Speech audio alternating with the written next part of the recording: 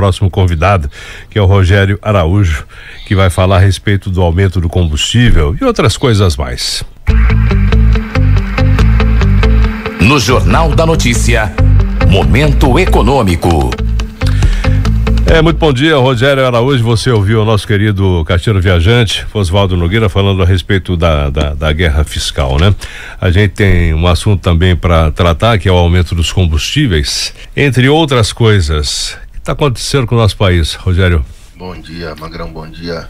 Clóvis Magalhães, Edelso Antônio, bom dia a todos os ouvintes. Está acontecendo é que nós estamos, parece que sem direção. O, o comandante da, da embarcação não sabe para onde empurra o barco.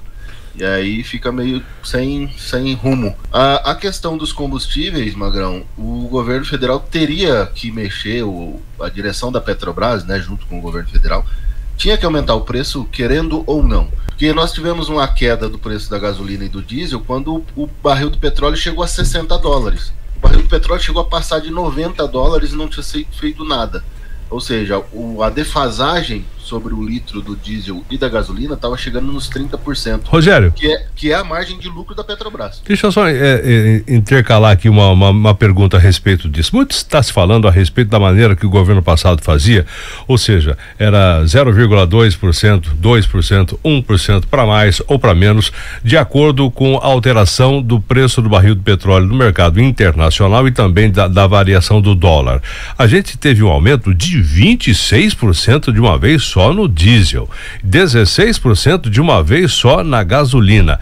Como é que você avalia? É melhor você ter aumentos homeopáticos, vamos falar assim, como vinha acontecendo na época do Paulo Guedes? É, enfim. É, a variação aconteceu lá fora, você automaticamente passa aqui para dentro, para cima ou para baixo, ou dessa maneira, por exemplo, de 26%. Eu duvido que aconteça o contrário, uma redução de 26% de uma vez só. É, mas essa, esse aumento de 26% ele só aconteceu porque o governo ficou segurando o preço do combustível para controlar a inflação. Porque ele queria controlar a inflação para dizer que os dois diretores que ele colocou no Banco Central foram eles que mudaram a taxa de juros. Quando na verdade ele sabia a lição de casa, que era segurar o preço do combustível, que é o preço administrado, e o dólar. Né? O que aconteceu? Baixou a taxa de juros, o dólar que estava em 4,70 já está em 5 reais de novo. Rapidinho a gasolina voltou 30% para cima. Ou seja, o que ele fez foi só manipular a inflação, manipulou a inflação para que o Banco Central tomasse uma decisão favorável e aí eles dizerem, olha, por causa da pressão política, por causa dos diretores que a gente colocou lá, é que a taxa de juros caiu. E isso é mentira. e mercado... você acha que agora a inflação também que está aí, entre aspas, né, é, controlada artificialmente, como você falou e eu venho falando aqui também, ela, ela vai mostrar suas garras agora daqui para frente? Já mostrou nos serviços. O serviço já subiu agora nos primeiros 10 dias de, do mês, de agosto.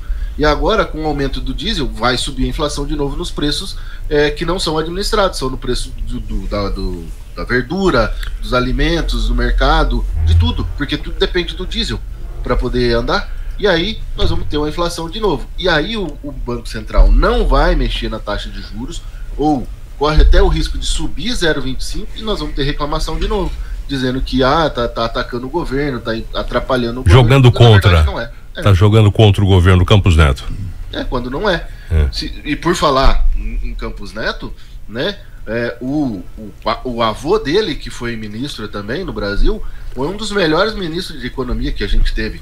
Né? E aí você pega uma, uma pessoa que vem de uma família que estuda economia, que trabalha com economia de longa data e tem conhecimento econômico, e, e, malha ele como se ele não soubesse nada? É Agora me fala uma coisa, só para a gente encerrar, são 7 horas e 38 minutos. Quando se mistura economia com ideologia, nunca dá certo, né?